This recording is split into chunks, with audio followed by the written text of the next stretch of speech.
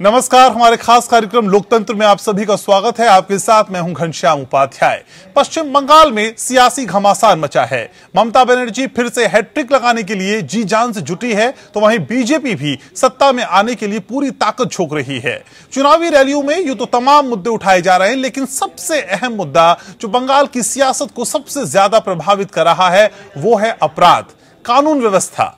BJP लगातार प्रदेश में बढ़ते अपराध, राजनीतिक हत्याओं को लेकर ममता सरकार को घेर रही है। आज भी कूच बिहार में गृह मंत्री अमित शाह ने आरोप लगाया कि ममता राज्य में बंगाल अपराधों में नंबर वन है। इस बीच पश्चिम बंगाल के राज्यपाल जगदीप धनखड़ के बयान से भी सूबे की सियासत गर्मा गई है। धनखड़ ने एक बयान में कहा कि ममता सरकार में इतना डर है कि लोग डर के मारे इसकी चर्चा तक नहीं करते। बंगाल में इमरजेंसी जैसे हालात हैं। वैसे पिछले काफ़ी वक्त से बंगाल में राजनीतिक हत्याओं का ग्राफ तेज़ी से बढ़ा है। इन हत्याओं को लेकर वार पलटवार भी होता रहा है। सवाल यह कि क्या वाकई राज्य का शासन, संविधान और कानून के शासन से परे जा रहा है। या अपराध और कानून व्यवस्था का मुद्दा महज सियासी फ़सल काटने के लिए उठाया जा रहा है। क्या है हकीकत? आज करेंगे पड़ता लेकिन उससे पहले इस रिपोर्ट का आपको दिखाते हैं। पश्चिम बंगाल में सियासी घमासान। टीएमसी, बीजेपी में वार पलटवार।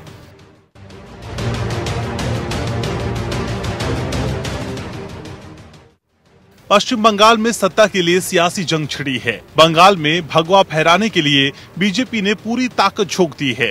ममता भी डटी है, अड़ी है।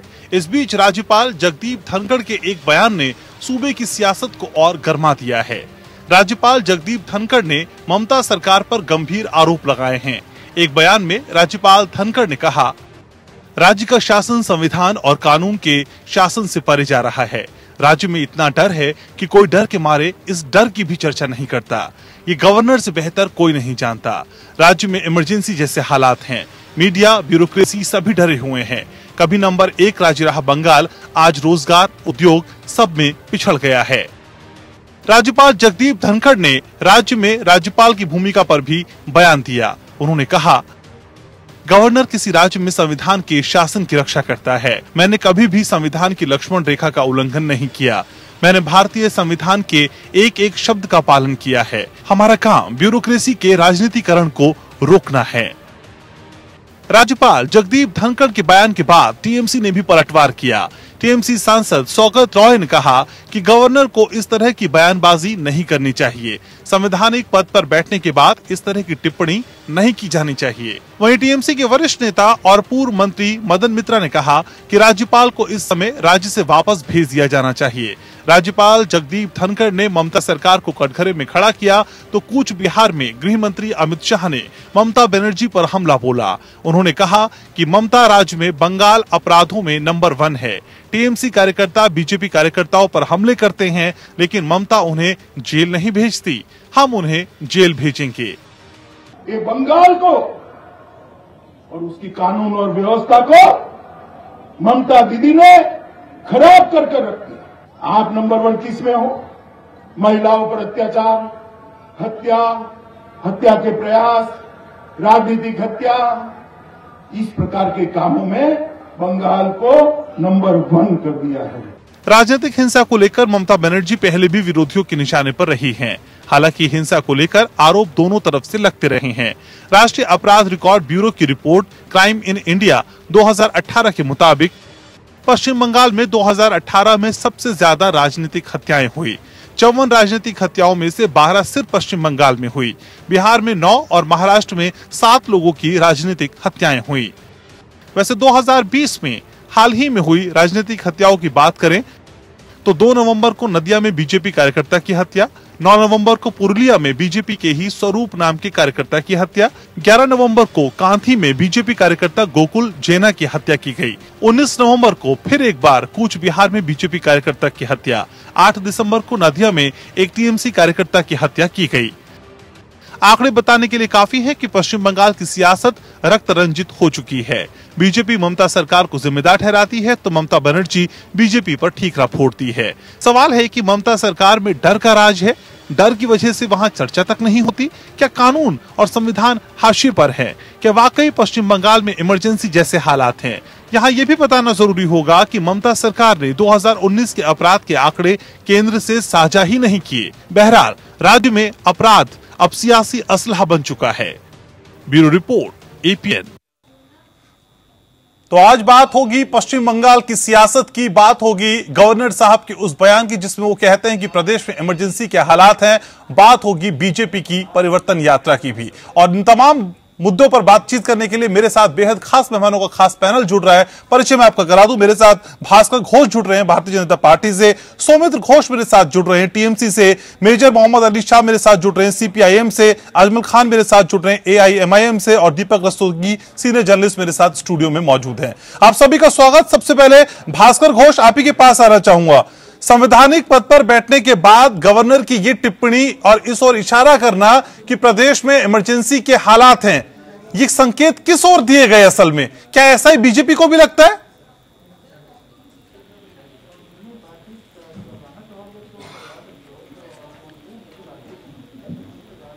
भास्कर जी, आवाज़ मिल रही है।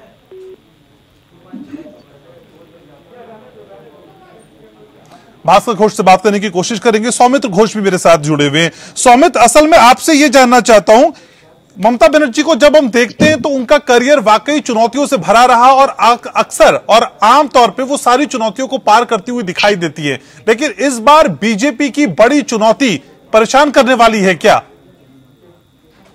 देखिए पहले तो मैं चाहता हूँ सभी को शुभेच्छा और पहले बात यह है कि आप आ, मैं ये कहना चाहता हूँ कि भारतीय जनता पार्टी का जो पॉलिटिक्स आप ये कह रहे हैं कि आ, इस बात पे नहीं मैं ये नहीं कहूँगा कि टू थाउज़ेंड ट्वेंटी वन के जो इलेक्शन टू थाउज़ेंड नाइनटीन या टू थाउज़ेंड एटीन से ही भारतीय जनता पार्टी पश्चिम बंगाल में पॉलिटिक्स कर रहे हैं। आपने सवाल ये इससे उठा है कि इससे ममता बनर्जी के लिए कितने चुनौती हो गए भारतीय हम्म। जनता पार्टी। मैं इससे कहना चाहता हूँ कि Mamata Banerjee is a street fighter ठीक है? और काम की बेसिस से ही पश्चिम बंगाल की जनता वोट डालते हैं। काम के बेसिस पे। अगर वो देखेंगे जितने भी जितने भी प्रोजेक्ट पश्चिम बंगाल की सरकार ने लिया है हम्म। दस साल में अगर वो आप देखेंगे कन्याश्री जो हम्म। हमारी इस स्टेट का जितने भी बच्ची है उनको अठारह साल होने के बाद उनको पच्चीस हज़ार रुपए का स्कॉलरशिप दिया जाता है हर किसी को रूपोश्री शादी के समय उनको एक पच्चीस हज़ार रुपए की स्कॉलरशिप दिया जाता है मतलब फैमिली को सपोर्ट किया जाता है सरकार की तरफ़ से ऐसे छात्र साथी से लेकर सबुज साथी से लेकर साइकिल दिया जाता है। करोड़ों बच्चों को साइकिल दिया गया है पिछले दस साल में। तो ऐसे बहुत सारे स्कीम जो बेनिफिशियल डायरेक्टली हमारी जनता को, पश्चिम बंगाल की जनता को हर घर में उनको मिला है। तो मैं यही कहना चाहूँगा कि जो जितने भी व्यवस्थाएँ हमारे स्वराष्ट्र मंत्री जी और मिनिस्ट्री जी भी आज आए थे पश्चिम बंगाल में भी, लेकिन वोट लोग डालते हैं जब ये लोकल इशू पे वोट होता है। ये लोकल इलेक्शन है इसका मतलब असेंबली इलेक्शन ये पश्चिम बंगाल की इलेक्शन देखिए सौमित आपकी अपनी बातें आपकी पार्टी के हिसाब से हो सकता है ठीक है लेकिन गवर्नर जो कि संवैधानिक पद पे बैठे हैं वो प्रदेश के हालात को लेकर चिंता ज़ाहिर करते हैं। वो कह रहे हैं कि असल में इस प्रदेश में इमरजेंसी के हालात हैं लोग डरते हैं और इतना डरते हैं कि उस डर के बारे में डर से बोलते भी नहीं है। हाँ मैं मैंने सुना है आज जगदीश धनखड़ जी ने जो भी बात किया है ये बात उसने इस बार पहली बार नहीं किया है। मैं आपको याद दिलाना चाहता हूँ। जिस दिन से वो इस स्टेट का गवर्नर बने हैं, उस दिन से वो हमारी सरकार के खिलाफ बहुत सारे बात करते रहते हैं। उनसे हमारा पीएम का मीटिंग भी हुआ है। लेकिन इससे कोई, उसको तो शायद डिस्ट्रिक्ट में जाना चाहिए। जो रूरल एरियाज़ है, वहाँ पर जाना चाहिए। उन्हें चाह के वो कुछ मीडिया वाले, कुछ बीजेपी का फेक न्यूज़ है, या अमित मालव वो जिसे फेक न्यूज़ फैलाने के लिए उसे किंग मेकर कहा जाता है। फेक न्यूज़ का किंग मेकर तो अमित मालव्य जी भी पश्चिम बंगाल में काम कर रहे हैं। अगर मैं जगदीप धनखड़ जी सर को मैं अनुरोध करना चाहता हूँ कि आप प्लीज़ पश्चिम बंगाल के जो गाँव है जो मुर्शिदाबाद है मालदा है जलपाईगुड़ी आपकी सरकार सिर्फ़ गाँव तक के लिए बनी है? टीएमसी सिर्फ़ गाँव के लिए अर्बन एरिया की ज़िम्मेदारी किसकी होगी? अगर अर्बन में ऐसे हालात है अगर आप ये कह रहे हैं कि सिर्फ़ गाँव देखिए। नहीं नहीं नहीं नहीं मैं ऐसा मैं ऐसा बिल्कुल नहीं कहना चाहता हूँ कि अर्बन एरिया लेकिन जो कलकत्ता में रहता है जो पश्चिम बंगाल में बहुत सारे जर्नलिस्ट को भी ऐसा एक मतलब एक क्लियर एजम्पन रहता है कि पश्चिम बंगाल मतलब Kolkata. Kolkata is not West Bengal Kolkata is a part Kolkata और Howrah is a part of West Bengal लेकिन अगर आपको सच में पश्चिम बंगाल का हालात जानना है what is the exact situation of West Bengal then I should request to my governor कि आप पश्चिम बंगाल के जितने भी गाँव है उसमें जो गाँव का लोग है जो शहर आप क्या है, बता रहे हैं सुमित? क्या राज्यपाल को पश्चिम बंगाल के गाँव की हालत के बारे में जानकारी नहीं है? सर वो भी अर्बन एरिया के गवर्नर नहीं है ना? वो पूरे पश्चिम बंगाल के गवर्नर हैं। मैं पश्चिम बंगाल की गवर्नर को रिक्वेस्ट कर रहा हूँ कि सर आप भी सिर्फ़ राजभवन से नहीं और सिर्फ़ जो भी व्हाट्सएप में दिया जाता है जो कुछ मीडिया वाले ने स्प्रेड कर रहे हैं उसके बाहर जाके आप खुद जाइए। आप पश्चिम बंगाल की कोई भी जिला में चला जाइए और आप उन लोगों से खुद बात कीजिए। आप तो गवर्नर है ना। तो आप जा सकते हैं। ठीक है। जाके बात कीजिए। ठीक है। मेजर मोहम्मद अली शाह मेरे साथ हैं सीपीआईएम से।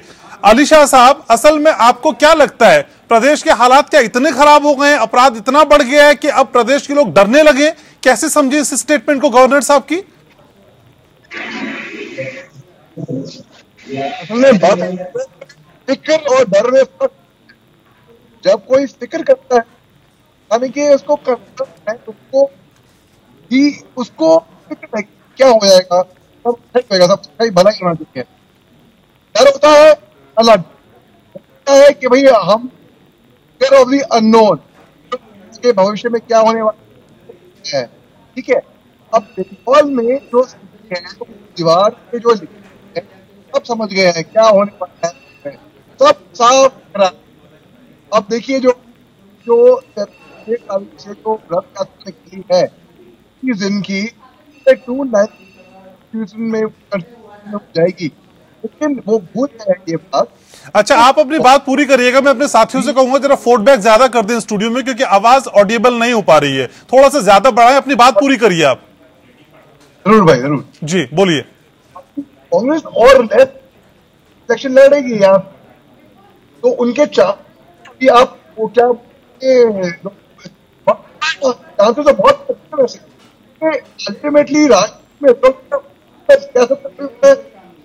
जब जब लेफ़्ट नहीं आपकी आवाज़ मुझ तक सही तरीके से नहीं आ पा रही है। मैं कोशिश कर रहा था कि सुन पाऊँ लेकिन आपकी आवाज़ मुझ तक सही तरीके से नहीं आ पा रही है। अजमल खान मेरे साथ जुड़े हैं। खान साहब असल में आपको प्रदेश की स्थिति को देख के कैसा लगता है? क्या मान लिया जाए कि बीजेपी अब फ्रंट फुट पे आ गई है और सारी चीज़ें बीजेपी अपने हिसाब से चाहती है और जो टारगेट उसने सेट किया है 200 का प्रदेश को लेके उसको पाने के लिए सारी कोशिश की जा रही है? देखिए गवर्नर बीजेपी का है। गवर्नर को पहले भी सारे हालात मालूम थे आज भी मालूम मालूम है। अगर उन्हें लगता है कि इमरजेंसी की जैसी सिचुएशन है तो वो प्रेस और मीडिया को क्यों बता रहे हैं? वो सेंट्रल गवर्नमेंट को रिपोर्ट करें जो कॉन्स्टिट्यूशनल एक्शन है वो एक्शन कराएँ तब तो बात हुई। और क्योंकि ये इलेक्शन ईयर इलेक्शन थोड़े दिन बाकी है तो गवर्नर साहब बीजेपी का प्रचार कर रहे हैं। इसमें कौन सी दो बात है? जहाँ भी गवर्नर बीजेपी के रहे अभी आपको मैं एक एग्ज़ाम्पल दे दूँ उत्तर प्रदेश का। जब राम नाईक साहब यहाँ गवर्नर थे तो अखिलेश की गवर्नमेंट थी तो बहुत सब अपराध रोज बोलते थे अखबारों में। योगी जी की सरकार आ गई जितने दिन गवर्नर है लगता था गुमने हो गए हैं। तो ये जो गवर्नर साहब बोल रहे हैं ये तो राजनीतिक एकदम है। उनका राजनीतिक बयान है उन्हें कॉन्स्टिट्यूशन तो आप कह रहे हैं कि ममता के राज में सब कुछ ठीक चल रहा है? नहीं मैं ये नहीं कह रहा हूँ मैं दूसरी अच्छा। बात कह रहा हूँ। जो कुछ गवर्नर को एज ए कॉन्स्टिट्यूशनल अथॉरिटी करना चाहिए वो नहीं कर रहे हैं। पश्चिम बंगाल के हालात खराब है वो दूसरी बात है। तो वही हालात तो बया कर रहे हैं ना अजमल भाई तो वो वही हालात बयां कर रहे हैं। नहीं जो वो देख रहे हैं वो बोल रहे हैं। नहीं कर रहे वो, वो जो स्टेटमेंट आपने सुनाया वो कह रहे हैं इमरजेंसी लाइक सिचुएशन है। देखिए। अगर इमरजेंसी लाइक सिचुएशन देखिए है तो अजमल भाई आप दोनों चीज़ें एक साथ कह रहे हैं। अजमल भाई आप एक तरफ़ ये मान रहे हैं कि बंगाल के हालात खराब हैं लेकिन दूसरी तरफ़ गवर्नर साहब अगर कहते हैं तो फिर आप कहते हैं कि ऐसा नहीं है। सब दोनों चीज़ें एक साथ कैसे हो जाएँगी? बीजेपी पार्टी के एजेंट होकर इलेक्शन नहीं वो बीजेपी की वजह से आए तो इसलिए उनकी बातों को सर अगर वो बीजेपी की वजह से। वहाँ पे है तो उनकी बातों को क्या संजीदा तौर पे से आप नहीं लेंगे? नहीं अगर बीजेपी की तौर से वहाँ पे है तो सच तो सच है ना। आप ये बताइए कि ये सच है कि नहीं है? ये बताइए आप। देखिए महाराष्ट्र में वो लॉ एंड ऑर्डर की सिचुएशन खराब होना एक इशू है खराब है। लेकिन कॉन्स्टिट्यूशनल अथॉरिटी जो गवर्नर की है वो बैठ के कह रहा है कि इमरजेंसी लाइक है। सिचुएशन है। क्या एक्शन लिया? ये बता दे गवर्नर साहब ने। गवर्नर साहब मैं तो मैं अजमल खान मैं आपसे तो ये नहीं समझ रहा हूँ। मैं आपसे ये नहीं पूछ रहा कि बतौर संवैधानिक पद पे बैठ के उनकी ये टिप्पणी कितनी जायज़ है। मैं आपसे ये कह रहा हूँ कि जो उन्होंने अपने स्टेटमेंट में कहा क्या आप भी वही मानते हैं? प्रदेश की हालत खराब है कि हाँ, नहीं है। प्रदेश प्रदेश की हालत खराब है इसमें कोई शक नहीं। ठीक है। तो आप ये कह रहे हैं कि प्रदेश की हालत खराब है। दीपक रस्तोगी भी मेरे साथ हैं। रस्तोगी जी, असल में बीजेपी की परिवर्तन यात्रा और जगदीप धनखड़ साहब की स्टेटमेंट ये सारी चीज़ें किस ओर इशारा करती हैं? क्या वाकई बीजेपी आगे बढ़कर अब कोई मौका कम से कम टीएमसी को नहीं देना चाहती कि उनकी घेराबंदी वो कर पाए? बंगाल की सियासत जो है, वो ये जो अपराध और ये सारी चीज़ों की बात हो रही है कि राजनीतिक हिंसा बढ़ गई है हम्म। हमें थोड़ा पीछे जाना पड़ेगा और हमें ये देखना पड़ेगा ममता बनर्जी जब विपक्ष में थी तो गोपाल कृष्ण गांधी राज्यपाल हुआ करते थे नारायणन साहब थे और इन दोनों के पास ममता बनर्जी प्रतिनिधिमंडल लेके जाती थी उन्हें लिस्ट देती थी हम्म। और वो सरकार को केंद्र सरकार को वो अपनी रिपोर्ट सौंपते थे कि वहाँ राजनीतिक हिंसा की स्थिति क्या है। भाजपा उसी फुटप्रिंट को फॉलो कर रही है और माननीय राज्यपाल महोदय के पास रिपोर्ट भाजपा भी दे रही है। भाजपा के प्रतिनिधिमंडल भी जा रहे हैं। लेकिन जो फ़र्क है फ़र्क ये है कि अभी मौजूदा राज्यपाल पर जो आरोप लग रहे हैं वो इसलिए लग रहे हैं कि वो सीधे मीडिया से बात कर रहे हैं हम्म। और मीडिया को बता रहे हैं कि हालात कितने खराब हैं। तो वो सीधे आरोप लग जा रहा है कि प्र, वो प्रवक्ता के हिसाब से काम कर रहे हैं जबकि पिछले जो राज्यपाल थे वो अपने संवैधानिक उनकी जो उनका जो प्रोटोकॉल है उस हम्म। हिसाब से वो केंद्र सरकार को रिपोर्ट देते थे केंद्रीय टीम जाती थी और वो मुद्दा हाईलाइट होता था हम्म। दरअसल कॉमन फैक्टर ये है कि मुद्दा जो राजनीतिक हिंसा का हाईलाइट करने का है उस पर भाजपा चल रही है और उसको लगता है कि ममता बनर्जी पर हम ये गेन कर सकते हैं तृणमूल कांग्रेस पर गेन कर सकते हैं हम्म। राजनीतिक हिंसा के मुद्दे को लेकिन ये देखना पड़ेगा कि वहाँ राजनीतिक हिंसा किस तरह से और कैसे राजनीतिक दलों के लिए मुफीद वो मुद्दा बनता है और राजनीतिक दल किस तरह से अपनी जड़ें मज़बूत करते हैं इस मुद्दे को लेकर के। हम्म। ये भी एक देखना पड़ेगा। ठीक है भास्कर घोष मैं उम्मीद करता हूँ मेरी आवाज़ आप तक पहुंचेगी। भास्कर जी असल में यही समझने की कोशिश कर रहा था कि जिस और गवर्नर साहब इशारा कर रहे हैं वही कमोवेश बातें भारतीय जनता पार्टी भी कहती है। क्या दोनों बातें एक ही जैसी हैं और इन दोनों बातों को जोड़कर प्रदेश की जनता के बीच मैसेज कैसा जाएगा?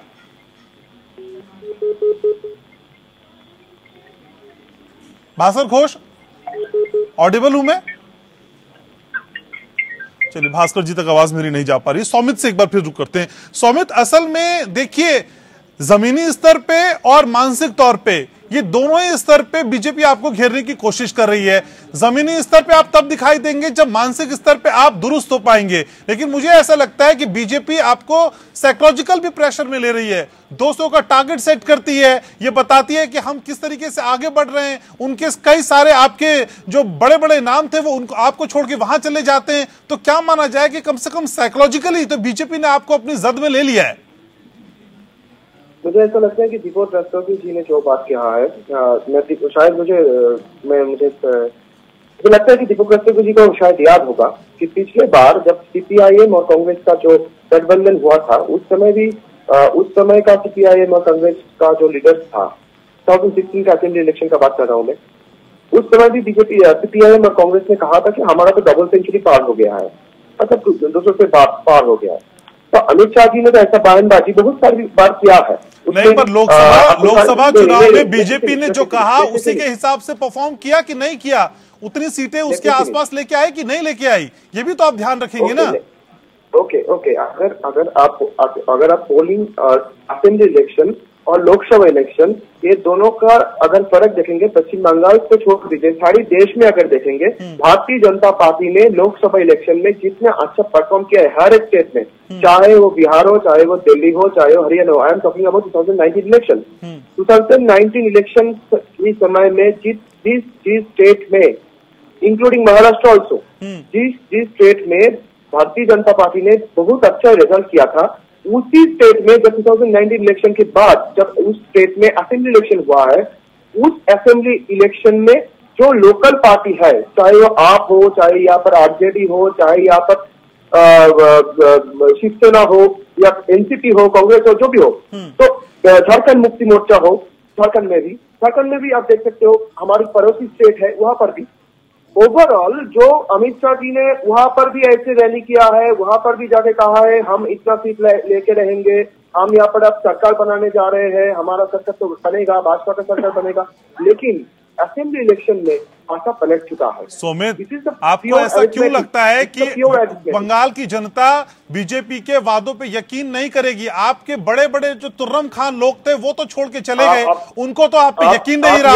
और आप कह रहे बंगाल की जनता यकीन नहीं करेगी। आप उनको तो रोक नहीं पाए। Okay okay fine okay fine fine fine क्यों बंगाल का लोग क्यों यकीन करेंगे आप बता दीजिए? बंगाल की भारत के बाहर है। आप बंगाल के तो लोगों को छोड़ दीजिए पहले उन लोगों को रोक लेते ना जो छोड़ गए आपको। जनता वो लोग आपको क्यों छोड़ के गए? बड़े बड़े नाम जो आपको छोड़ के चले गए वो क्यों छोड़ गए? वो जान गए ना कि दस साल में आपने कुछ नहीं किया। मैं पहले जो सवाल पूछे हैं उसके जवाब में देना चाहता हूँ। बताइए। पहले सवाल बताइए। जवाब देना चाहता हूँ। पहले तो ये है कि पश्चिम बंगाल भारत का एक स्टेट है। तो भारत की जनता को जो जो वादा किया गया था 2014 का इलेक्शन में और 2019 का इलेक्शन में कोई भी वादा पूरा नहीं हुआ है। ना तो देश की दो करोड़ नौकरी हुआ है हर साल में ना तो किसी का अकाउंट बात है सोमित? आपका काउंटर लाजवाब है। तो ना जब तो मैं ये पूछता हूँ आपसे कि लोकसभा में बीजेपी ने अच्छा परफॉर्म किया वो विधानसभा में क्यों नहीं करेगी? तब आप कहते हैं कि लोकसभा और विधानसभा दोनों अलग अलग हैं। और अगर आप बीजेपी को घेरते हैं तो फिर लोकसभा में किए गए वादे पूछते हैं। जवाब आप देंगे। दस साल आप रहे सर। दस साल आप रहे बंगाल- पे। बंगाल के लोगों की परेशानी आपसे हुई है। आप देंगे जवाब। हाँ क्या जवाब है? बताइए, आप जवाब देंगे प्रदेश की जनता को कि आखिर दस साल में आपने क्या किया? बीजेपी अकाउंटेबल नहीं है अभी। एग्जैक्टली एग्जैक्टली ये डिबेट शुरू होने के पहले जो बात मैंने कहा है कि बंगाल की जनता के लिए बंगाल की हर एक बच्ची है जो इस स्टेट का उसे कन्याश्री मिलता है। इस स्टेट का जितने भी स्कूल स्टूडेंट्स है उसे साथी का साइकिल मिलता है पाओ का जूता मिलता है। हमारे स्वास्थ्य साथी मिलता है। इस स्टेट में स्वास्थ्य साथी सबुज साथी कर्म साथी से लेकर आप मैं सुन रहा था हमारा होम मिनिस्टर जी शायद उनके पास डेटा नहीं है। सेंट्रल गवर्नमेंट का डेटा मैं कहना चाहता हूँ मनरेगा में पश्चिम बंगाल नंबर वन है। धान उत्पादन में पश्चिम बंगाल नंबर वन है। सोमित किसान में- 2019 में आपने कौन से निवेश किए हैं? इसका डेटा साझा क्यों नहीं किया गया? गवर्नर साहब ने जब डेटा मांगा तो डेटा शेयर क्यों नहीं किया गया? कौन सी डेटा प्रदेश में कौन से इन्वेस्टमेंट किए कौन से निवेश किए इसका डेटा शेयर क्यों नहीं किया गया? प्रदेश में कौन सी? कौन सी इन्वेस्टमेंट आपने किए फॉर द डेवलपमेंट वो डेटा क्यों शेयर नहीं किया गया? प्रदेश में प्रदेश में मैं मैं गवर्नर सर को कहना चाहता हूँ और आप सभी मीडिया को कहना चाहता हूँ जो इस साल का जो बजट वेस्ट बंगाल गवर्नमेंट का जो वोट ऑन अकाउंट बजट दिया है दिया गया है उसमें क्लियर डेटा दिया गया है कि कितने इन्वेस्टमेंट हुआ है स्टेट में कितने यूनिवर्सिटीज कितने न्यू मेडिकल कॉलेज क्रिएट किया गया है। इस पे जानना चाहिए उसको पढ़ना चाहिए। आप बीजेपी से डरते हैं कि नहीं डरते हैं? मुझे ये बताइए सर। बीजेपी से डरते हैं कि नहीं डरते हैं? तो फिर बीजेपी की किसान सम्मान निधि क्यों नहीं आपने किसानों को दी? दस हज़ार करोड़ उसका क्यों बकाया है? किसान सम्मान निधि किसानों को क्यों नहीं दिया आपने? पहले बात इस पे है कि पश्चिम बंगाल की हर एक किसान को सिक्स थाउज़ेंड रुपीज़ ऑलरेडी उनके अकाउंट में दिया जाता है। अरे तो सेंट्रल जो की योजनाओं को क्यों पूरा नहीं होने देंगे है- की योजनाओं को स्टेट में क्यों नहीं आने देंगे? किसानों के फेवर में अगर कोई चीज़ जा रही है उनको पैसा मिल रहा है लाभ हो रहा है तो आप क्यों नहीं जाने देंगे? मुझे- मुझे कंप्लीट करने दीजिए। जो सवाल आप पूछ रहे हैं उसको कंप्लीट करने दीजिए मुझे। पश्चिम बंगाल की सरकार की तरफ़ से कृषक बंधु प्रकल्पों की अंदर में हर जो किसान है उसको सिक्स थाउज़ेंड रुपीज़ और जो यहाँ का भाग चाषी है, जो छोटे चाषी है, उनको थ्री थाउज़ेंड रुपीज़ मैं सवाल पूछना चाहता हूँ कि आप किसान निधि, जो सेंट्रल गवर्नमेंट का किसान निधि है, उसमें भाग चाषी के लिए कितना पैसा दिया जाता है? ये जो बीजेपी का प्रवक्ता है, या जो फार्मर मिनिस्टर है, जो आप भी कह रहे हैं किसान निधि के बारे में, ये भी कहिए कि किसान निधि प्रकल्पों में जो भाग चाषी है, जो छोटे चाषी है तो है, जो इसको तीन हज़ार रुपए दिया जाता है हर साल में पश्चिम बंगाल की तरफ़, सरकार की तरफ़ से। उसके लेकर क्या बात है? ठीक है ठीक है आप मेरे साथ रहिए। मेजर मोहम्मद अली शाह भी मेरे साथ जुड़े हुए हैं। मोहम्मद अली शाह असल में जो बताने की कोशिश टीएमसी इस डिबेट में कर रही है प्रदेश के हालात वहाँ वैसे ही देख पाते हैं क्योंकि बकौल टीएमसी तो डेवलपमेंट है। विकास की बयार बह रही है वहाँ पे। जी देखिए अभी मैं आपको बात बताता हूँ। अभी दो दिन पहले प्रधानमंत्री जी ने बोला है कि ये लेफ़्ट का पुनर्जन्म है। उन्होंने ही बोला है और आपके ही चैनल ने बोला था ये क्या है? कि प्रधानमंत्री ऐसा बोल रहे हैं। भाई मैं तो बोल रहा हूँ कम से कम वो पुनर्जन्म तो मानते हैं लेफ़्ट का। या कुछ भी हो आप लोग ही कहते हैं कि आप लोग लेफ़्ट कहीं नहीं हो गायब हो गए सत्ता में नहीं हो ये हो गया कहीं नहीं दिख नहीं रहे खामोशी से काम कर रहे हैं कि नज़र नहीं आ रहे प्रधानमंत्री ने खुद बोला है मैं उन्हीं की बात बोल रहा हूँ उन्हीं की जबानी में बोल रहा हूँ कि इलेट का पुनर्जन्म है। और और बंगाल में क्या होने वाला है? वो सब जानते हैं सबको दिख रहा है दीवार पे राइटिंग क्या होने वाला है और ये वक्त बताएगा। और जो भी वहाँ पे राजनीति हो रही है जो भी हर तरह के अब हर कोई ज़ोर लगा रहा है लेकिन सीपीआईएम के वरिष्ठ नेता हैं डॉक्टर फवाद हलीम साहब। उन्होंने कहा था कुछ टाइम कुछ दिन पहले कि अल्टीमेटली ऐसा होएगा कि सारे टीएमसी के नेता बीजेपी को जा रहे हैं। अगर ममता बनर्जी खुद बीजेपी को ज्वाइन कर लेती हैं उनको ताजुब नहीं होएगा। और वही देखिए अमित शाह ने साहब ने वही बयान दिया। कि वो ममता बनर्जी से आखिर में जय श्री राम कहलवाएँगे जिस जिस नारे से उनको चिड़ मचती है। मतलब क्या? मेजर ममता अली शाह मुझे ये बताइए सर आपके टारगेट पे कौन है सर? आप किसे कॉम्पिटिटर मान रहे हैं बीजेपी को या टीएमसी को? नहीं मैं आपको पहले भी बोल चुका हूँ कि हमें हमारे लिए कॉम्पिटिटर दोनों से कोई भी नहीं है ना बीजेपी ना टीएमसी मैं बताऊँ क्या होने वाला है।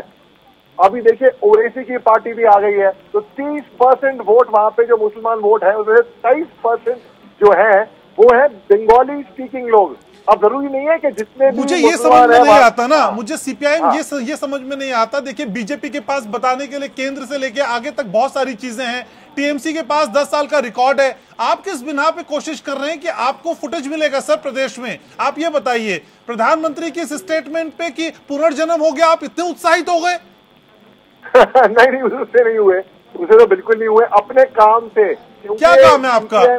सीपीएम जो है वो खामोशी इतना क्या काम है? मुझे काम बता दीजिए। अच्छा, मुझे पाँच अच्छा। काम बताइए। पाँच नहीं अच्छा, चलिए तीन काम बता दीजिए। तीन नहीं दो बता दीजिए। ठीक है। तीन नहीं देखो दो ही सुनने ठीक है। क्या आपने सुना है कि कोई डायलिसिस कोई डॉक्टर डायलिसिस करता है? हम्म। पचास रुपए में। डॉक्टर फुआद अलीम साहब डायलिसिस कर रहे हैं बंगाल में।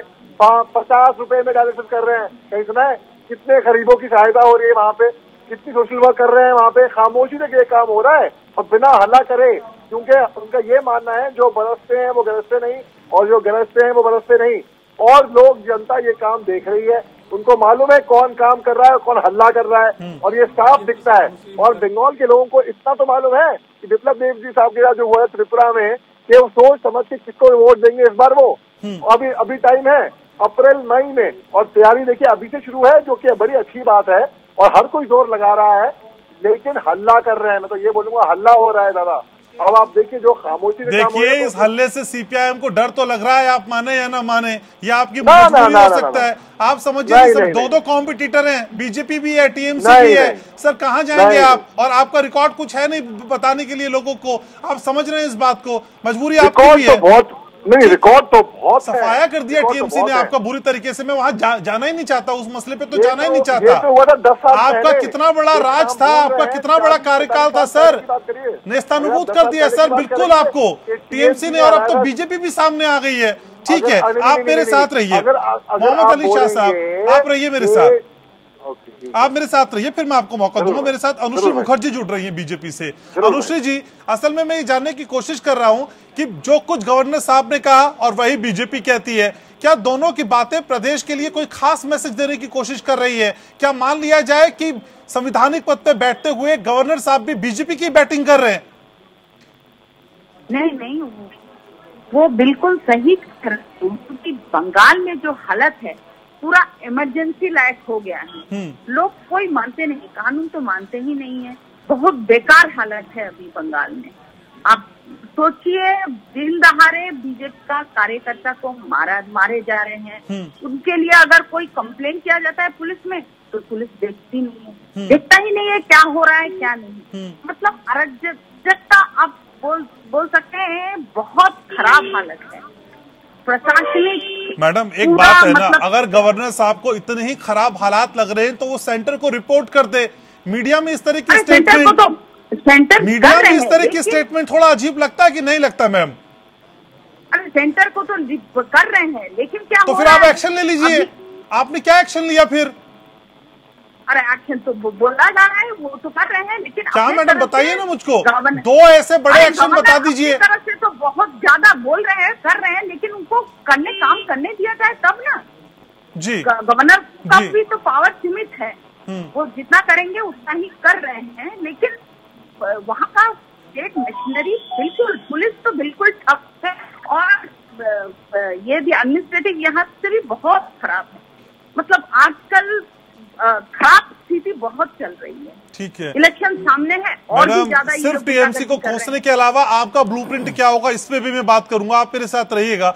तो लोकतंत्र आप देख रहे हैं लोकतंत्र में आज हम बात कर रहे हैं पश्चिम बंगाल की सियासत की और ये समझने की कोशिश कर रहे हैं कि राज्यपाल साहब ने कहा कि असल में प्रदेश में इमरजेंसी के हालात हैं। आखिर ऐसा उनको क्यों महसूस हुआ? सभी खास सामान लगातार मेरे साथ बने हुए सीनियर जर्नलिस्ट दीपक रस्तोगी भी मेरे साथ हैं।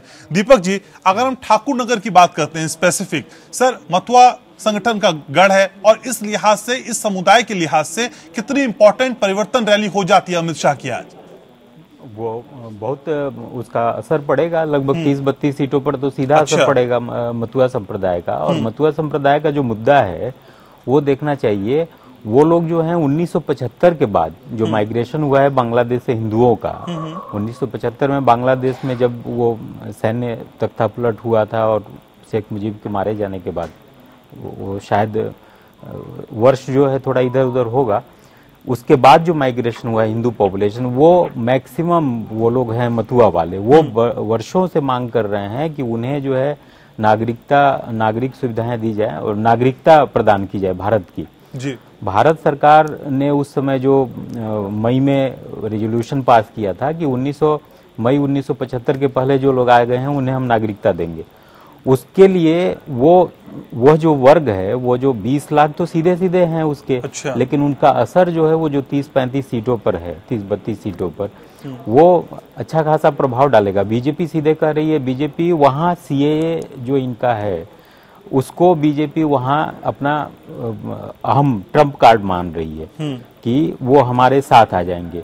मथुआ संप्रदाय से जो बीजेपी के सांसद हैं वो इस मुद्दे को लेकर के काफ़ी दौड़ भाग भी कर रहे हैं और उसका असर भी है। हालाँकि देखिए मथुआ में भी एक वर्ग वैसा है जो ये कह रहा है कि नहीं ये सीए आगे चल करके हमको सपोर्ट नहीं करना चाहिए वो हम दूसरे तरीके से इसको हासिल कर लेंगे। लेकिन अभी जो है ये ठाकुर नगर की रैली का असर दिख रहा है ठीक है तो आप कह रहे हैं बड़ा इम्पैक्ट इस रैली के ज़रिए पश्चिम बंगाल में पड़ता हुआ दिखाई देता है। कई सीटों पे इसका सीधा असर है। अनुश्री मुखर्जी मेरे साथ हैं भारतीय जनता पार्टी से।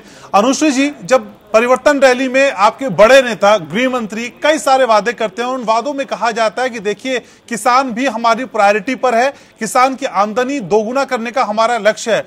तो मैम दिल्ली की सीमाओं पर बैठे किसान आप भूल जाते हैं क्या कि बंगाल के किसान उन किसानों को देखकर आपके वादों पर यकीन कैसे कर लेंगे? दिल्ली में जो हो रहा है वो, वो किसान नहीं है। नहीं किसान के ये लोग पार्टी दूसरे पार्टी के लोग आके ये सब झंझट कर रहे हैं। ये किसान नहीं है। किसान है लेकिन वो लोग मैडम तय कर लीजिए किसान है कि किसान नहीं है? दोनों बातें आप एक ही लाइन में बोल रही हैं। ये लोग बीच के आदमी है जो अभी किसान का कुछ फ़ायदा नहीं पहुंचाना चाहते हैं। इसी के लिए ये लोग बैठे हुए हैं मैम बंगाल के किसान आप पे यकीन क्यों करें? मुझे ये बता दीजिए बंगाल के किसान आप पे यकीन क्यों करें? सम्मान निधि के लिए जो पैसा पैसा था वो कहा? किसानों तक पहुँचा? नहीं पहुँचा। हम्म। सेंटर से तो दिया गया बंगाल को। हम्म। लेकिन बंगाल में किनको मिला? नहीं मिला ना? ये लोग बोलते हैं मिल रहा है मिलेगा। कुछ नहीं मिला है। किसान सम्मान निधि कहाँ मिला है? सब सभी जगह में दिया जा रहा है लेकिन बंगाल में नहीं मिल रहा है। बंगाल में जो भी हमारे प्रधानमंत्री कुछ भी स्कीम चला रहे हैं बंगाल में अपना नाम करके कुछ चला दे रहे हैं हम्म। आधा लोगों को दे रहे हैं अपने पार्टी के लोगों को दे रहे हैं और दूसरे को अगर वो पार्टी लाइन ना फॉलो किया जाए तो उनको नहीं दे रहे। हैं हम्म। तो ऐसा चल रहा है अराजकता वहाँ। तो यहाँ आप क्या बोलेंगे? हम्म। अनुश्री जी अनुश्री जी जब आप कहते हैं कि हम देखिए हमें पाँच साल दीजिए हम सोनार बंगला कर देंगे। मैडम वो कौन सी मैजिकल स्टिक है? वो जादू की कौन सी छड़ी है जो दस साल में टीएमसी नहीं कर पाई? आप पाँच साल में करके दिखा देंगे। ये भी लोगों को समझाना होगा असल में इसका मैकेनिज्म क्या है? अरे सोनार बांग्ला तो एकदम करके दिखाएँगे। कैसे? कैसे मैडम? प्रधानमंत्री बनने के बाद नहीं आप सुनिए प्रधानमंत्री मंत्री बनने के बाद क्या क्या किए हैं? कितना कुछ किए हैं? स्वच्छ भारत अभियान। अब देखिए आवास योजना फिर फ्री सिलेंडर गैस कलेक्शन कितना कुछ महिलाओं के लिए किए हैं। हम्म। यहाँ बंगाल में ये सब कुछ नहीं पहुँचा। मैडम ये योजनाएँ तो केंद्र की हैं। जो आप योजनाएँ मुझे गिना रही हैं ये तो सेंटर की योजनाएँ हैं। मैडम ये तो सेंटर की है पूरे देश को मिल रही है। तो बंगाल के लिए खास क्या होगा? अरे बंगाल के लोग अनएम्प्लॉयमेंट पूरा हिट है। आप जानते हैं वहाँ अनएम्प्लॉयमेंट मतलब लोग एम्प्लॉयमेंट का नाम पे कुछ नहीं है खाली क्लब कल्चर है। कैसे दे देंगे रोज़गार? सब क्लब में बैठे हुए हैं पैसा मिल रहा है चुपचाप बैठे हुए हैं कोई काम नहीं कुछ नहीं कोई इंडस्ट्री नहीं। अगर बीजेपी आती है हम्म। तो वहाँ इंडस्ट्री बनेगी। एजुकेशन सिस्टम अच्छा होगा। हर चीज़ वहाँ चेंज बदल बदलाव होगा। हम्म। इसलिए अच्छा तो आप ये कह रही है अच्छा तो आप ये कह रही है अगर बीजेपी आती है तो अभी आप भी पूरी तरह से मुतमिन नहीं है अगर उसके साथ चल रही है ना। देखिए देखिए बीजेपी आप पूछ रहे हैं ना इसीलिए मैं ऐसे आंसर नहीं तो आप ये बोलिए ना हम आएँगे तो ऐसा करेंगे। मैडम ऐसे बोलिए ना हम आएँगे तो ऐसा करेंगे। आप तो कह रहे हैं कि हाँ। अगर बीजेपी आती है अगर मैम अगर तो क्वेश्चन मार्क लगा देता है। नहीं नहीं करेक्ट कर लीजिए मैं टाइम दे रहा हूँ। करेक्ट कर लीजिए आराम से बोलिए। सही कर लीजिए दुरुस्त कर लीजिए। ये समझिए ना बीजेपी आती है जहाँ जहाँ आई है अब ठीक है। वहाँ अच्छा काम किया है। तो यहाँ तो हंड्रेड परसेंट तब तो आ रहा है। हम्म। आप देखिए आज का जो मीटिंग था अमित शाह जी का हमारे होम मिनिस्टर का हम्म, हम्म। कितने लोग कितना जन जन सैलाब थे। सब लोग परिवर्तन चाहते हैं परिवर्तन के मैम फिर वही बात मैम कैसी बातें कर रही हैं? भीड़ किसी सफलता की गारंटी है क्या? आप ये बता दीजिए। भीड़ गारंटी है क्या? मैं वोट में तब्दील होनी चाहिए चीज़ें। भीड़ से कुछ नहीं होता। बंगाल में देख रही हूँ ना कितना चेंजेस हम्म। हो रहा है लोगों में। हम्म। सब बदलाव चाहते हैं। एक एक लोगों से पूछिए। वो हम्म। लोग सब बंगाल में चेंजेस चाहते हैं। लोग थक चुके हैं। अच्छा अच्छा। अनुश्री जी बदलाव अगर हाँ। चाहते हैं मान भी लिया जाए तो बदलाव के बाद वो आप ही को चाहते हैं ये कैसे पता? ए एम आई एम भी लाइन में लगी है वाम दल भी लगे हुए हैं। अब तो ओएसी की पार्टी भी आ रही है। मैडम वो भी तो विकल्प हो सकते हैं। आप इतने कॉन्फिडेंस में क्यों आ जाती हैं कि अगर टीएमसी नहीं तो बीजेपी ही देखिए देखिए बीजेपी एक सेंट्रल पार्टी है। वो लोग देख चुके हैं कि कितना अच्छा काम कर रहे हैं। जहाँ जहाँ बीजेपी है वहाँ वहाँ वही स्टेट बहुत अच्छा कर रहे हैं। तो अभी बंगाल में बीजेपी अगर आएगी हम्म। आ रही है तो पूरा बंगाल सोनार बांग्ला बनने वाला है एकदम बन जाएगा। हम्म। टाइम तो दीजिए आने तो दीजिए फिर देखिएगा क्या हो रहा है। ठीक है आप मेरे साथ रहिए टीएमसी से सोमित घोष भी हैं। तो सोमित आप देख रहे हैं ना बीजेपी तो फुल मूड में है फुल कॉन्फिडेंस में कि हमने तो आना ही है। बोरिया बिस्तरा बांधने का समय आ गया टीएमसी का बीजेपी के हिसाब से। एकदम हंड्रेड परसेंट एकदम। सोमित ऑडिबल हूँ? बोलिए। हाँ थैंक यू पहले बात तो ये है सोना बांग्ला की बात करते हैं ये लोग। हम्म। तो मैं ये सवाल पूछना चाहता हूँ मोदी जी तो सेंट्रल का प्रधानमंत्री है हमारे देश का। हम्म। और डबल इंजिन सरकार ये एक बीजेपी का शब्द बंद है ये यूज़ हम्म। करते रहते कि डबल इंजिन सरकार तो मैं उसको पूछना चाहता हूँ कि मध्य प्रदेश में भी जो डबल इंजिन सरकार था वहाँ पर तो कांग्रेस को संख्यागरिष्ठता मिला था। तो कांग्रेस को मिला था उसके बाद कांग्रेस को एमएलए को अपने पार्टी में शामिल कर एक बात मैं सोमित एक बात ठंडे दिमाग से बताइए। आप बीजेपी की असफलताओं से चुनाव जीतेंगे या अपने किए गए कामों से जीतेंगे? हद हो रही है। अकाउंटेबल आप हैं। एंटी एकम्बेंसी आपके एंटी एकम्बेंसी आपके खिलाफ काम करेगी। बीजेपी के खिलाफ नहीं। बीजेपी की असफलताएँ गिराएँगे तो मुश्किल हो जाएगी। आप अपनी उपलब्धियाँ बताइए ना मुझे। मध्य प्रदेश में क्या हुआ? उत्तराखंड में वो छोड़ दीजिए। एग्जैक्टली मुझे बोलने दीजिए। पश्चिम बंगाल की जनता बहुत समझदार वोटर है। बहुत समझदार वोटर है। और आप ये मत सोचिए कि पश्चिम बंगाल की जनता पूरी देश की हलचल को अपने दिमाग में नहीं रखते हैं। हम्म। कौन सी स्टेट में क्या हो रहा है? कौन सी जगह पे बीजेपी का सरकार बनने के बाद वहाँ पर कितने लोगों का खून हुआ है? कितने औरतों को रेप हुआ है? कितने इंडस्ट्री अच्छा। हुआ है? सब कुछ दिल और दिमाग में रखने के बाद ही वोट डालता है। और इसी के साथ साथ रहेगा पश्चिम बंगाल का डेवलपमेंट एक आंकड़ा एक आंकड़ा आप सुन लीजिए। एक ही आंकड़ा मेरे पास है मैं आपको बता रहा हूँ। एनसीआरबी रिकॉर्ड जो बताता है उसकी क्राइम इन इंडिया 2018 की एक रिपोर्ट है मेरे पास। वो कहती है कि पश्चिम बंगाल में 2018 में सबसे ज़्यादा राजनीतिक हत्याएँ हुई। चौवन राजनीतिक हत्याओं में से अकेले बंगाल में 12 राजनीतिक हत्याएँ हुई हैं। ये एनसीआरबी की रिपोर्ट बताती है आप प्रदेश लॉ एंड ऑर्डर पे दूसरे प्रदेश को घेर रहे हैं बीजेपी को वहाँ से घेर रहे हैं अपनी चीज़ें दुरुस्त करिए ना पहले सोमित नहीं नहीं मैं ये क्लियरली कहना चाहता हूँ कि 2014 के पहले पूरी देश में सिर्फ़ पश्चिम बंगाल में नहीं हम्म। पूरी देश में जो हिंसा का स्थिति बढ़ चुके हैं पूरी देश में मैं सिर्फ़ पश्चिम बंगाल की बात नहीं कर रहा हूँ या फिर सिर्फ़ बिहार की बात नहीं कर रहा हूँ हम्म। पूरी देश में एक हिंसा का वातावरण क्रिएट किया गया है जहाँ पर भाई भाई को मार रहा है धर्म के नाम पे हणाहानी हो रहा है धर्म के नाम पे किसी को मार रहे हैं सांप्रदायिक दंगा कर रहे हैं सब देखिए, कुछ कर रहे हैं आप ना तर्कों के साथ बात नहीं करते स्वामित आप ऐसे लिखने लग जाते हैं। निबंध नहीं लिखना है। नहीं, मुझे नहीं, ये बताना है कि असल में आपके पास क्या है? की आप एनसीआरबी का रिपोर्ट ये भी देख लीजिए 2014 के। बाद पूरी देश में सांप्रदायिक हनाहानी है चलिए? देखिए ये आरोप प्रत्यारोप में पूरी डिबेट नहीं होगी ना कुछ न्यूट्रली समझते हैं चलिए। कुछ न्यूट्रली समझते हैं दीपक रस्तोगी मेरे साथ है। दीपक जी असल में भारतीय जनता पार्टी के बड़े नेताओं का पश्चिम बंगाल में दौरा। क्या टीएमसी के लिए एक बहुत बड़ा चैलेंज है जिसे टीएमसी मानने को तैयार नहीं है? या मान भी रही है तो बता नहीं रही है? नहीं नहीं चैलेंज तो वो मान रहे हैं। और ममता बनर्जी और उनकी टीम के लोग जिस तरह से यात्राएँ कर रहे हैं और एकदम ग्राउंड लेवल पर जा रहे हैं आज भी आज भी ममता बनर्जी ने कई जगह यात्रा की है और कई जगह कई लोगों की मीटिंग्स ली हैं कई बातें कही हैं। तो वो तो मान रहे हैं। मैं इस पर आना चाहूँगा। ये जो क्राइम वाला जो मुद्दा है इसको इसको दूसरे थोड़ा सा और हमको गंभीर होकर के देखना पड़ेगा। बंगाल में राजनीतिक हिंसा क्यों होती है? ये राजनीतिक हिंसा इसलिए होती है कि वहाँ मान लीजिए कि एक क्षेत्र विशेष है दस गाँव है। उस दस गाँव को हमको वोट बैंक बनाना है।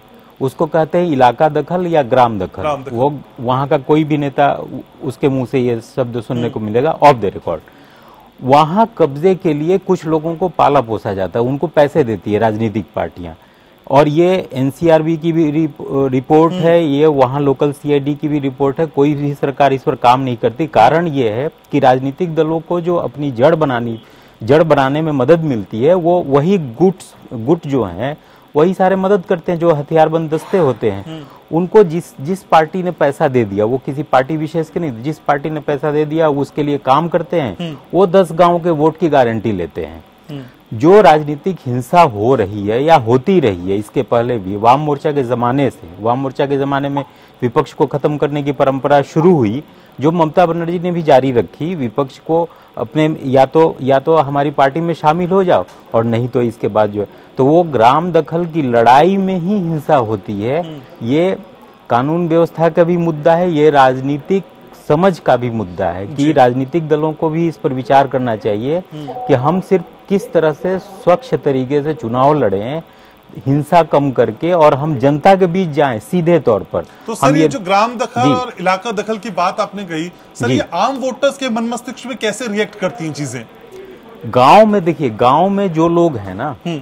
अगर दस गाँव के लोग उनमें आमदनी कम है या पढ़ाई लिखाई में अगर उनके बीच का एक लड़का पढ़ लिख गया तो वो बाहर अच्छा। निकल गया कमाने दबाने के लिहाज से या शहर में चला गया बंगाल के ही शहर में। जी। वो गाँव में बहुत ज़्यादा सक्रिय नहीं रह, क्योंकि उसे अपना घर चलाना है। तो वो अगर उनके ऊपर दबाव डाल दिया जाए डरा दिया जाए कोई भी पार्टी हो बीजेपी हो सीपीएम हो कांग्रेस हो तृणमूल हो कोई भी पार्टी हो उसके लोग जाकर के कह दे धमका दे वो हमारे हमारे यूपी में भी हो, होता है कई इलाकों में बिहार में भी होता है। कई जगह भी हम देखने सुनने को मिलता है कि वहाँ जाके वो पैसे देना धमकाना इस तरह के तो आरोप आते रहते हैं। ठीक है। बंगाल में ये धमकाने वाली जो बात है ना वो पब्लिक कह देती है कि ठीक है अपनी जान की सुरक्षा करो चलो इसको वोट दो, डालो अच्छा। काम खत्म करो। हम्म, ये एक ट्रेंड है। दूसरा एक ट्रेंड है बूथ जाम वाला। वो बूथ पर आपके कार्यकर्ता लाइन लगा के खड़े हो जाएँगे। और जो जेन्युइन वोटर्स हैं वो नहीं पहुँच पाएँगे। वो वाम मोर्चा के समय में भी है। अब हालात ये हैं कि कई जगह पर जहाँ की बीजेपी भी आ गई है वहाँ भी इस तरह के आरोप दिख रहे हैं। तृणमूल पर भी आरोप लग रहे हैं। आरोप सारी पार्टियों पर लग रहे हैं। हम्म, अब यह है कि सारी पार्टियाँ इस पर विचार करें कि भाई कैसे हम साफ़ सुथरे चुनाव की गारंटी दें। अकेले राज्यपाल वहाँ बोलते रहें या राज्यपाल रिपोर्ट भेजते रहें या केंद्र सरकार डंडे चलाती रहे उससे नहीं होगा। ठीक है स्थानीय स्तर पर। जी। ठीक है। अजमल खान भी हमारे साथ हैं एआईएमआईएम से। अजमल खान साहब असल में पश्चिम बंगाल में जब बात करते हैं तो क्या ये पूरी लड़ाई जो राजनीतिक तौर पर हम समझ और देख रहे हैं विधानसभा चुनाव के मद्देनजर ये सिर्फ़ बीजेपी वर्सेस टीएमसी ही है या टीएमसी वर्सेस बीजेपी है? बाकी पार्टियों की एग्जिस्टेंस कितनी है यहाँ पर? देखिए हम लोग तो वहाँ पहली बार चुनाव लड़ने जा रहे हैं। जी। इसके पहले वहाँ टीएमसी से पहले वहाँ लेफ़्ट और कांग्रेस की गवर्नमेंट रह चुकी है। हम्म। ये राजनीतिक तौर पर जो पार्टियाँ आती है जनता उनके बीच से तय करती है। हम्म। इस वक्त ऐसा लग रहा है कि वहाँ टीएमसी वर्सेज बीजेपी है। हम्म। ऐसा महसूस हो रहा है क्योंकि बहुत ज़्यादा बीजेपी के सारे लीडर कर रहे हैं और टीएमसी की सरकार के ऊपर आपने देखा गवर्नर तक इल्ज़ाम लगा रहे हैं। हम्म। लेकिन ऐसा नहीं है कि सिर्फ़ चुनाव में यही दो पार्टियाँ रहेंगी। जनता तय करेगी ना कि क्या होता है। वहाँ हम लोग भी हैं और पार्टी भी हैं। जनता तय करेगी जेपी के पास वो भी इकट्ठा कर सकते हैं नहीं कर सकते दूसरी वो पार्टी जिसके पास स्टेट की सारी मशीनरीज है तो ऐसा लग रहा है कि वो दोनों आपस में लड़ रहे हैं और ये चुनाव अच्छा आप क्या बताएँगे। आप पश्चिम बंगाल की जनता को क्या बताएँगे? आप कौन? और आप क्या करेंगे? ये क्या बताएँगे आप? हमने तो पूरे हिंदुस्तान में बताया हमारी सरकार कहीं नहीं थी।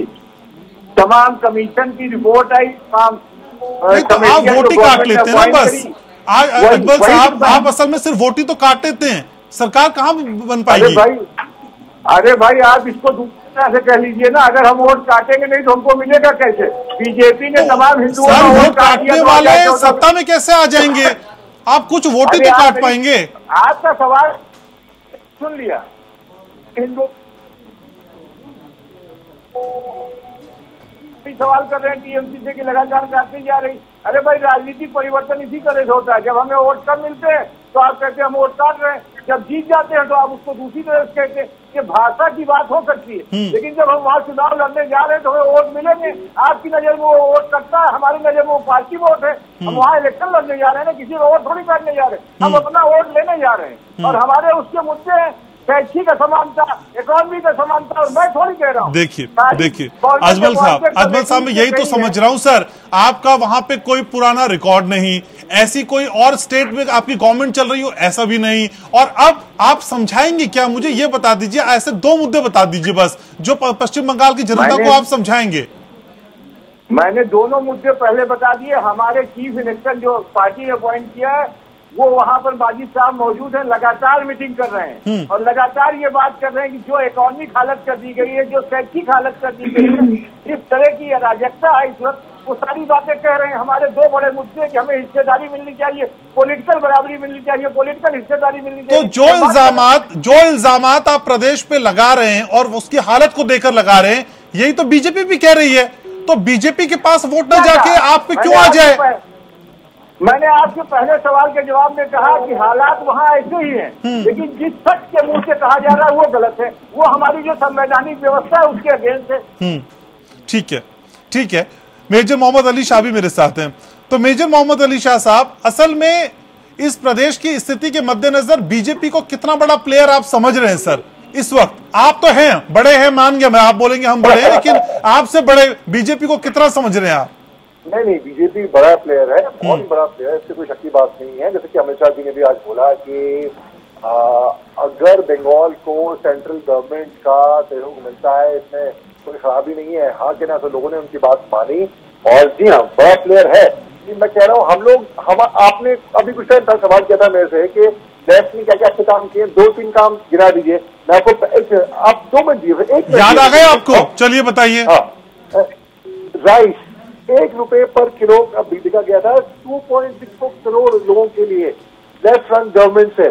जो बेनिफिट जो केवल बीपीएल ने भी एपीएल ने भी एंजॉय किया था। ग्यारह लाख सत्ताईस हज़ार एकड़ लैंड ज़मीन डिस्ट्रीब्यूट की गई थी तीन मिलियन फार्मर को चौथी साल में जिनको 84 percent of land Bengal is owned by small margin farmers ठीक है जो नेशनल रिकॉर्ड है वो थर्टी वो थर्टी फोर परसेंट था। ये तो बातें बीत गई। ये बातें तो बीत गई सर। हाँ हाँ बीती है। बीती हुई बातों का ढोल कब तक पीटेंगे? लोग नहीं सुनेंगे। सर नया राग अलापिए। नया राग अलापिए सर सॉफ्टवेयर अपडेट करिए। पुरानी बातों से कुछ नहीं होगा। आप मेरे को पूरे देश में कोई एक मेडिकल डॉक्टर आप भी कोरोना का नहीं चला कोरोना काल आप पूरे देश में मेरे को ऐसा डॉक्टर दिखा दीजिए। सब डॉक्टर की हम इज़्ज़त करते हैं डॉक्टर अपना कोरोना से लड़ रहे हैं। कोई एक ऐसा डॉक्टर दिखा दीजिए जिसने कोरोना में का जिस कोरोना पॉजिटिव ठीक होने के बाद बैक टू बैक लोगों को ठीक कर रहा हो और चार बार आप एक अच्छा ठीक है। डॉक्टर ठीक है। मेजर मोहम्मद अली शाह आप सिर्फ़ एक डॉक्टर के काम को गिना रहे हैं और बीजेपी के पास तो आयुष्मान योजना है सर। हाँ, जो लाखों तो लाख बीमा योजना दे रही है मुफ़्त इलाज दे रही है। आप एक डॉक्टर का कंपैरिजन कर रहे हैं। सर तुलनात्मक दृष्टि से भी तो देखिए ना चीज़ें क्या दे रहे हैं आप? कोशिश कर रहा हूँ कि जिस तरीके से अपने खामोशी से चीज़ें अपना काम कर रही है ठीक है? और एग्रीकल्चर ग्रोथ रेट छह परसेंट पर annum left government record amount seventeen most popular state of India ठीक है? Bengal became leading food producer in country under left hand government इसके अलावा West Bengal became top of producer of rice vegetable और fish in a country में three percent in agriculture land under left hand government with agriculture district from neoliberal policies and countries agriculture grew less than two percent. 2002 और 2003 में West Bengal grew at 3.5 percent. 34 years जो left का वहाँ पे rule था उसकी development हुई थी वो अलग बात है कि दस वो बातें होने के बावजूद आपको नकार दिया गया सर आप बदल दिए गए आप बदल दिए गए अब बदली हुई बातों को फिर से दोहराएँगे फिर उसी पे आएँगे। नया कुछ है नहीं। चलिए सर ठीक है आप रहिए मेरे साथ। सौमित मेरे साथ है। सौमित तो इस डिबेट के हिसाब से ये लगता है कि बीजेपी तो है ही है बाकी प्लेयर भी आपसे कड़ा मुकाबला देने वाले हैं चाहे वाम दल हो चाहे A I M M I M हो। जी जी जी जो जो हमारी यहाँ का सीपीएम से जो है मैं उनको कहना चाहता हूँ कि आप थोड़ा और पढ़ लीजिए पढ़ना चाहिए। और जो पश्चिम बंगाल में पॉलिटिक्स छोड़ सकते भी थोड़ा पढ़ के और सुनने के बाद ये डिबेट पे आए आज भी पश्चिम बंगाल के पश्चिम बंगाल में सीपीआईएम ने बंद और हड़ताल रखा है। मतलब काल बारह घंटे का ट्वेल्व आवर्स का इससे हड़ताल बोला है पश्चिम बंगाल में।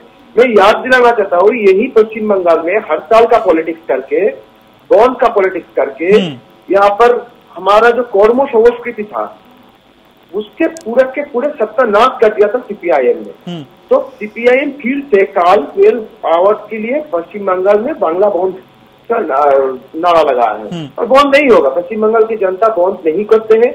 लास्ट दस साल में और आपको जो हमारे ये संचालक है जो संचालक है जो संचालक की है मैं उससे जो संचालक की है मैं उससे एक बात याद दिलाना चाहता हूँ सर आपको थोड़ा एक मिनट एक मिनट एक मिनट अच्छा, कंप्लीट करने कहिए कहिए दस सेकंड में करिए। आपने कहा है आपने कहा है कि बीजेपी के पास आयुष्मान भारत है तो मैं आपको कहना चाहता हूँ पश्चिम बंगाल में दस करोड़ जनता के लिए ममता बनर्जी ने स्वास्थ्य साथी लिया है। Thirty percent of the population can have Swasthya Sathi of West Bengal Ayushman Bharat of West Bengal लेकिन स्वास्थ्य साथी पूरे दस करोड़ जनता का बेनिफिशियरी दे रहे हैं ये भी आप एडिशन कर लीजिए। ठीक है। बीजेपी से अनुश्री जी हमारे साथ है। अनुश्री जी चलते चलते आखिरी कमेंट आप ही का। मैडम ये बंगाल की रण पे कैसे जीत होगी? क्योंकि सामने जो प्लेयर है वो भी कम कुछ कम नहीं है। क्या ओवर कॉन्फिडेंस तो नहीं हो गया बीजेपी को? अति उत्साह में बाकियों को कमज़ोर तो नहीं समझने लग गए आप लोग? नहीं बीजेपी जो है वो एकदम नीचे ग्रास रूट लेवल से लेके ऊपर तक काम कर रही है। ये नहीं कि ऊपर ऊपर काम कर रही है और बोल रहे हैं कि हाँ हम आ जाएँगे आ जाएँगे। ऐसा कुछ नहीं है। ग्रास रूट लेवल पे भी काम चल रहा है ऊपर भी काम चल रहा है हर जगह काम चल रहा है और बीजेपी अपना नाम से आगे बढ़ा है। गवर्नर साहब भी काम कर रहे हैं और आप भी काम कर रहे हैं इसे मैं ऐसे समझू। नहीं नहीं हमारे प्राइम मिनिस्टर भी इतना काम किए हैं आने के बाद ज़ाहिर है। बंगाल आने के बाद बहुत अच्छा काम करेंगे। जिस टाइम हम लोग बंगाल जीतते रहेंगे और मतलब बंगाल भी आप पीएम मोदी के कंधे से जीतेंगी। पीएम मोदी के सहारे बंगाल जीतेंगी ना कोई और बड़ा चेहरा वहाँ के लिए है क्या अकाउंट में? वो तो पार्टी डिसाइड करेगा। सभी बड़े बड़े चेहरे हैं। सभी बड़े चेहरे हैं। वो पार्टी डिसाइड करेगा अल्टीमेटली कौन क्या है। लेकिन हमारे प्रधानमंत्री जी को लेके हम लोग को आगे बढ़ना है और उनका काम जो है उनको देख के ही ना कीजिए।